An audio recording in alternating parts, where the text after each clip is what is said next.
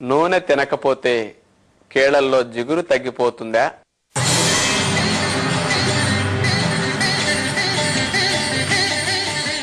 ఈ మధ్య యాభై అరవై సంవత్సరాల వయసు వచ్చిన వారందరిలో వినపడే మాట నాకు కేళల్లో జిగురు పోయింది కొంతమంది తెలంగాణలో అయితే బొక్కల్లో జిగురు పోయింది అంటుంటారు. ఎముకలు అరిగిపోతున్నాయి తక్కువ టిక్కు అంటున్నాయండి. మరి అసలే మీరు నూనె మానేయమంటున్నారు ఈ మధ్య టీవీల్లో. అసలే నూనె చాలక అక్కడ జిగురు లేక వస్తుంటే ఇంకా నూనె మానేస్తే ఇంకా ఉన్న జిగురు కూడా పోయి ఎండుకుపోయి తక్కువ టిక్ అని ఎక్కువ అవుతాయి కదా అరిగిపోవా అనే సందేహం చాలా మందిలో కలుగుతూ ఉంటుంది. అంటే చాలా మందికి ఏమనిపిస్తుందంటే మనం నూనె త్రాగితే అది జిగురుగా జారుతూ ఉంటుంది కదండి. అలాంటిది బాగా వాడపట్టి అది లోపలికి వెళ్ళి సందుల్లో చేరి ఎముకలు అరగకుండా అట్లా ఏదో బేరింగులకి గ్రీజ్ వలే ఈ నూనె కీళ్ళ సందుల్లో సహకరిస్తున్న అది జిగురికి అనుకుంటారు. అంటే మనం తీసుకునే వాటిలో జిగురుగా ఉన్నది ఆయిల్ పదార్థాలే కదా. అందుకని ఈ ఆయిలే అక్కడ జిగురికి మూలమని కాస్త మనందరికీ అనిపిస్తూ ఉంటుంది. అది సహజం. చదువుకోని వారికి మరి ఇట్లా అనిపించడంలో తప్పేమీ కాదు. మరి అట్లా అనుకుంటే ఇన్ని కోట్ల జీవరాశులు ఉన్నాయి కదండీ. అన్నిటికీ కీళ్ళు ఉంటాయి కదా. పెద్ద పెద్ద జంతువులన్నిటికీ మనం చూస్తుంటాం. మరి ఎక్కడన్నా నూనె తినే జంతువు ఇంకొక దాన్ని మీరు చూసుంటారా మనిషి తప్ప. మరి ఆ జీవరాశుల ఎముకల్లో జిగురు ఎక్కడి నుంచి వస్తుంది? ఒక్కసారి ఎప్పుడు ఇట్లా ఆలోచన చేయరు కదా మీరు? మరి ఒక్కసారి అట్లా ఆలోచన చేసి చూడండి. మీ దొడ్లో గేదెలు ఉన్నాయి కుక్కలు ఉన్నాయి ఆవులు ఉన్నాయి మేకలు ఉన్నాయి కోళ్ళు ఉన్నాయి ఏదన్నా ఒక్కటి తింటుందే. మనకు బొక్కలు అరిగిపోతున్నాయి తప్ప గేదెలకు బొక్కలు అరిగిపోయి ఇరవై సంవత్సరాల గేదె బతుకుతుంది. పదిహేను సంవత్సరాలకు ఆర్థరైటిస్ వచ్చేసి పడుకుని లేగని గేదెలు నడవలేని గేదెలు కుంటే గేదెలు. సామాన్యంగా మీరు చూడండి ఉంటాయేమో. ఏమైనా ఉంటే అది మనం ఏదన్నా కుడితిలో ఒకటి ఉప్పేసి పెట్టి మనం చెడగొట్టినందువల్ల వాటికైనా జబ్బులు వస్తే రావచ్చు తప్ప స్వతంత్రంగా తిని తిరుగుతూ గడ్డి తింటూ హాయిగా వ్యాయామం చేసే వాటికి అసలు అది సమస్య ఉండదు. ఇంకా కొంతమంది ఫోన్లు చేసుకొని అడుగుతుంటారు. డాక్టర్ గారు నా జిగురు మొత్తం పోయిందంటే ఆవిడ గ్రీజు పెట్టించమంటున్నాడండి ఎక్కడ పెడతారండి అని అడుగుతుంటారు. అంటే పల్లెటూరు వారికి ఏమనిపిస్తుందంటే సైకిళ్ళకి మోటార్ సైకిల్కి ట్రాక్టర్లకి వాటికి బేరింగుల్లో గ్రీజ్ చూస్తుంటారు. గ్రీజ్ అయిపోయినప్పుడు ఆ బేరింగులు శబ్దాన్ని చేస్తూ ఉంటాయి. సరిగా తిరగవు బండి స్మూత్గా ప్రయాణించదు. అలాగే మన కీడ సందుల్లో కూడా జిగురు తగ్గితే ఆ జిగురుని ఆ గ్రీజుతో పోల్చుకుని అట్లా వాడుతూ ఉంటారు. ముఖ్యంగా అందరికీ వచ్చే సమస్య ఇది. ఇక మనుషులందరికీ అలా వస్తున్నాయి కాబట్టి అలా జిగురు అందరికీ పోతుందని అనుకుంటూ ఉంటాం. నాకు తెలిసి ఇలాంటి పోవటానికి ఆ జిగురు తగ్గటానికి కారణాలు చూస్తే మంచినీళ్ళు సరిపడా త్రాగకపోవటం.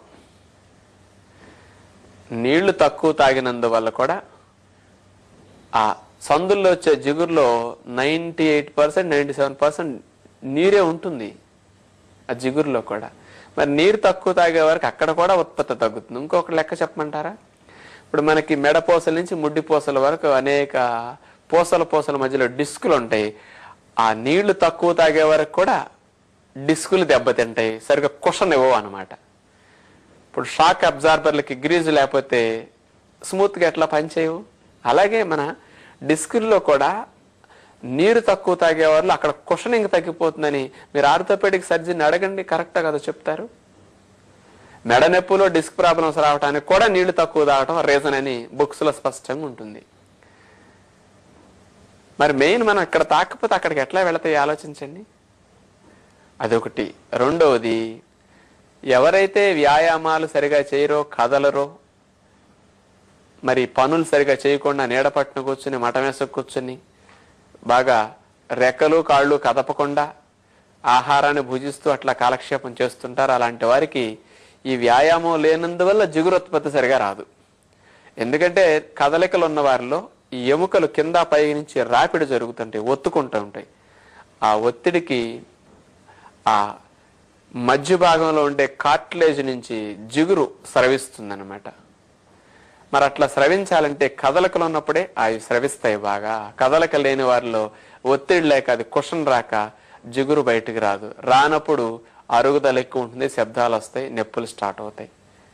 మూడవది మనము బయట నుంచి వేసుకునే రుచి కోసం ఉప్పు అంతా బయటికి విసర్జింపబడక లోపలే నిలవుండి కేళ్ళ సందుల్లో పేరుకుని ఆ సందుల్లో ఉండే జిగురుని ఉత్పత్తి చేసే కార్టిలేజ్ని దెబ్బతీస్తుంది అనమాట జిగురు ఉత్పత్తికి ఏదైతే ముఖ్యమో దాన్నే దెబ్బతీస్తుంది ఎక్కువ ఉప్పు పేరుకుని.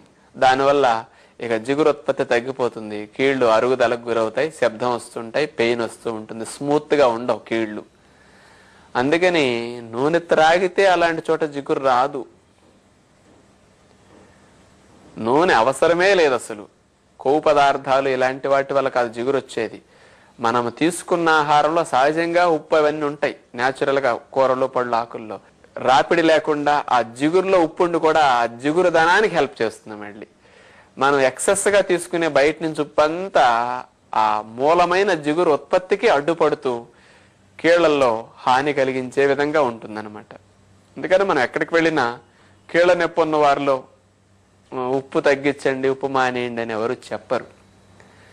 ప్రకృతి విధానంలో ఉప్పును మానేయటమే వాటికి మెడిసిన్. భవిష్యత్తులో మీకు కీళ్ళ నొప్పుల గురించి ప్రత్యేకించి విధ ఒక పరిష్కార మార్గం కూడా ఒకసారి తెలియజేసే అవకాశం ఉంటుంది. అందులో ఇంకా వివరణగా తెలుసుకునే ప్రయత్నం చేద్దాం.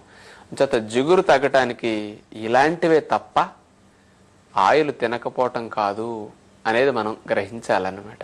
సహజంగా కూరలు పండ్లు గింజలు ఇలాంటివి మంచి ఎముకల కోసం నువ్వులు ఇలాంటి ఆకుకూరలు బాగా తీసుకుంటే చక్కగా జిగురు నాకు తెలిసి బ్రతికినన్నాళ్ళు కేళల్లో జిగురు అసలు తగ్గనే తగ్గదు. ఆరోగ్యవంతుడి యొక్క లక్షణం జీవించినంత కాలం కీళ్ళు అరగవు జిగురు తగ్గదు. టక్కు టిక్కు శబ్దాలు అక్కడ వచ్చి ఇబ్బంది పెట్టవు నొప్పులు అసలు రావు. ఎగ్జాంపుల్కి తీసుకోండి నేను చెప్పింది కరెక్టో కాదో? ఋషులు. వాడుకోవటం తెలిసింది బ్రతకటం తెలిసింది బ్రతికినన్నాళ్ళు అవయవాలు సహకరిస్తున్నాయి. అంటే మనకు సాధ్యం కాదు అనుకోవచ్చు మీరు. వాళ్ళు అడవిల్లో ఉన్నారని కాదు. ఎక్కడున్నా మనసు కంట్రోల్లో ఉంటే మనిషి బాగుపడతాడు. ఎక్కడున్నా మనసు మన చెప్పు చెత్తల్లో లేదు అంటే ఆ మనిషి ఇబ్బందులు బారి పడతాడు.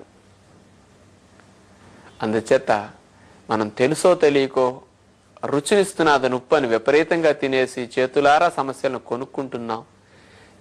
అందుబాటులో ఉండే నీటిని కూడా త్రాగలేకపోతున్నాం. కాస్త మన పని మనం చేసుకోకుండా ఎక్కువగా ఇంకొకరి మీద ఆధారపడుతూ మన శరీరానికి వ్యాయామం చేయకుండా కాస్త సోమరితనంగా గడిపేస్తున్నాం. మనం చేసిన తప్పుల్ని మనం అనుభవించక తప్పదు కదా మరి. అందుచేత భవిష్యత్తులో మనకి ఇలాంటి సమస్యలు రాకుండా ఉండాలంటే మనందరం కూడా కాస్త మంచి అలవాట్లు ప్రతిరోజు నేర్చుకోవడానికి ప్రయత్నం చేస్తే బాగుంటుంది. ఉన్నన్నాళ్ళు హాయిగా ఆనందంగా సుఖంగా బ్రతకటం ఎంతమందికి సాధ్యపడుతుంది? అది ఎంత అదృష్టమో మీ అందరికీ తెలుసు. ఆ అదృష్టం అనేది ఎవరో తెచ్చట్లా మనకు వరంలాగా ఇచ్చేయరు. మన ప్రయత్నం చేస్తే మనం దాన్ని పొందొచ్చు. మనకు ఆ అవకాశం ఉంది. అందుచేత మనసు మార్చుకుంటే మనిషి బాగుపడటానికి పెద్ద కష్టం కాదని భావిస్తూ మీ అందరికి కూడా కాస్త అట్లాంటి మంచి అలవాటు నేర్చుకుంటారని కోరుకుంటూ మనం సహజంగా వచ్చే రకరకాల సందేహాలకు సమాధానాలు తెలుసుకుంటూ మనసుల్లో ఉండే అపోహలను తొలగించుకుంటూ కాస్త మంచిగా ముందుకెళ్ళే ప్రయత్నం చేస్తున్నాం. మీరందరూ చక్కగా ఇలాంటి కార్యక్రమాలను ఇంకా తెలుసుకుంటూ ఆరోగ్యాన్ని బాగు చేసుకుంటారని ఆశిస్తూ తదుపరి కార్యక్రమంలో మళ్ళా కలుసుకుందాం. అందరికీ సెలవు. నమస్కారం.